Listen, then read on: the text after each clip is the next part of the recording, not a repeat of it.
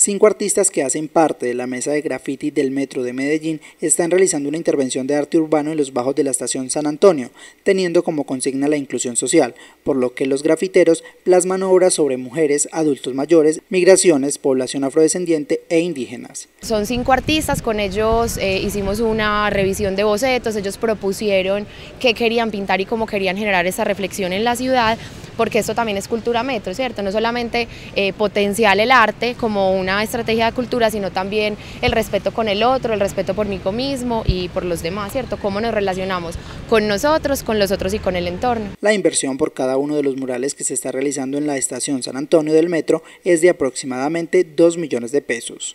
En el marco de la campaña El arte en nuestro idioma, queremos generar una reflexión acerca del derecho a la ciudad.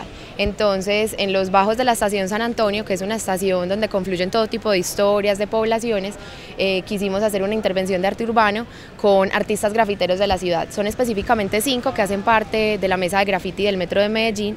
Con ellos concertamos eh, una intervención de arte urbano eh, bajo la temática inclusión social. La empresa Metro tiene planeado realizar 10 intervenciones de arte urbano, de los cuales ya lleva 3, una en la estación Tranvía, otro en Santo Domingo y la que actualmente se desarrolla en San Antonio.